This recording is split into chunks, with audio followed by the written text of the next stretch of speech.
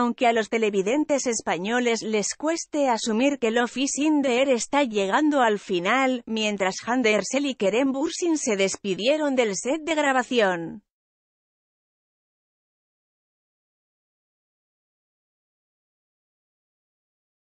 Eda y Serkan Bolat están a punto de retomar su amor después de que la paisajista descubrió un maravilloso cuarto secreto, donde el empresario guarda los más preciados recuerdos de su amor.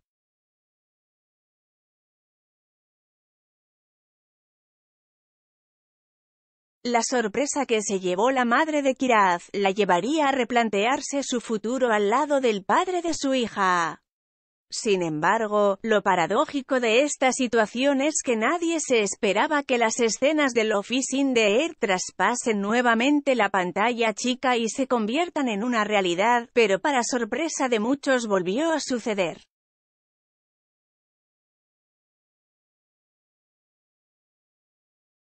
Los protagonistas de la ficción internacional confesaron en una entrevista concedida a un medio de comunicación turco, que se llevaron algunos que otros recuerdos de la utilería del Office in Air.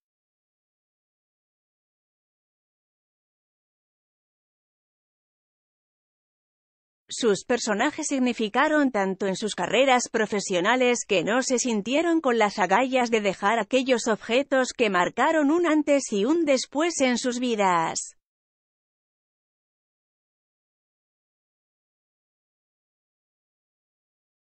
Olvidé el anillo de Serkan en mi dedo, así que ahora este anillo es mío.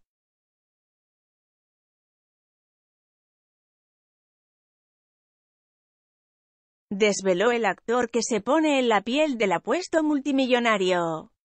En este mismo reportaje, Kerem Bursin se quedó totalmente perplejo cuando su novia le confirmó que le encantaría trabajar con él nuevamente ya que es un maravilloso compañero.